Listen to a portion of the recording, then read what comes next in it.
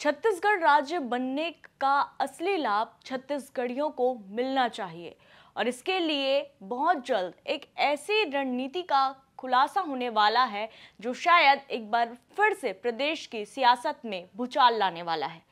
आखिर ये रणनीति किसने बनाई?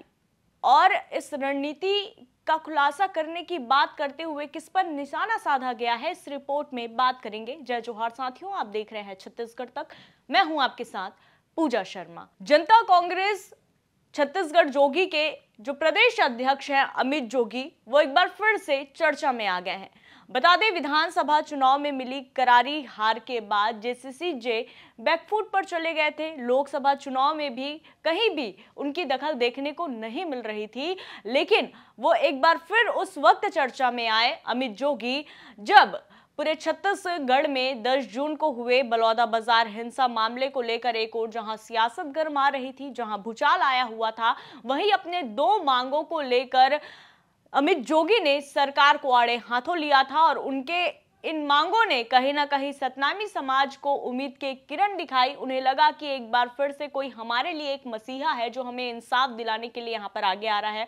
बता दें, अमित जोगी ने बलौदा बाज़ार का नाम बदलकर गुरु घासीदास धाम के नाम पर रखने की मांग की थी और उसके साथ ही साथ जिन लोगों की गिरफ्तारी की गई, उनकी निशर्त रिहाई की मांग करते हुए उन्होंने एक जुलाई से भूख हड़ताल पर बैठने की बात कही थी, लेकिन कुछ व्यक्तिगत कारणों के चलते वो ऐसा नहीं कर पाए। उसके बाद उन्होंने छत्तीसगढ़ तक से खास बातचीत की और उन्होंने कहा कि आंदोलन भी होगा, धरना भी होगा और अपनी मांगों के लिए मैं एक बार फिर से सतनामी समाज के लिए आवाज़ उठाऊँगा। तारीख नहीं बताई, लेकिन अब इस वक्त वो एक बार फिर से चर्चा में आ गए हैं। उस पोस्ट को लेकर जिसमें उन्होंने न सिर्फ़ बीजेपी बल्कि कांग्रेस पर भी जमकर निशाना साधा है।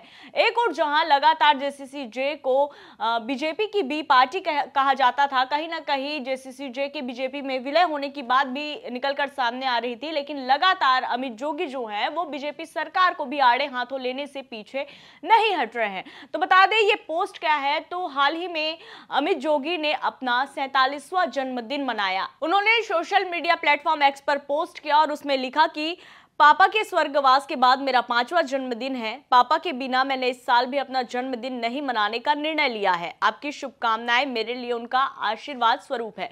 लेकिन हम इस पोस्ट की बात नहीं कर रहे हैं। इसके आगे जो उन्होंने लिखा, वो कहीं ना कहीं एक बार फिर से राजनीति में भूचाल लाने वाला है। वो आगे लिखते हैं कि परमपिता परमेश्वर, मुझे पापा के सपनों को पूरा करने का साहस, सामर्थ्य और सद्बुद्धि दें। यही प्रार्थना आप मेरे लिए कीजिए।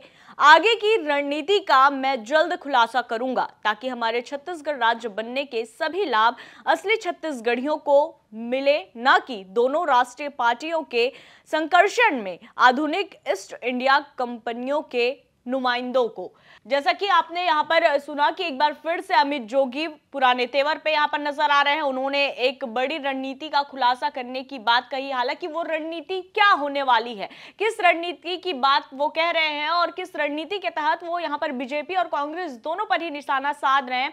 इस बात का इंतज़ार जब से ये पोस्ट हुआ, तब से लोगों के मन में है कि इस बार अब अमित जोगी क्या करने वाले हैं। साथ इन्होंने ये भी कहा है कि दोनों जो पार्टियाँ हैं, उनके नुमाइंदों को छत्तीसगढ़ का लाभ नहीं मिलेगा छत्तीसगढ़ियों को लाभ दिलाने के लिए। वो कुछ ऐसा करने वाले हैं जो एक बार फिर से छत्तीसगढ़ की सियासत में भूचाल ला सकती है। तो उसका इंतज़ार हम सभी को है और बहुत जल्द ये देखना भी दिलचस्प होगा कि अमित जोगी इस बार क्या कुछ नया करते हैं। तो फ़िलहाल इस रिपोर्ट में इतना ही साथियों, छत्तीसगढ़ से जुड़ी तमाम खबरों से अपडेट रहने के लिए देखते रहिए छत्तीसगढ़ तक। नमस्कार, जय जोहार।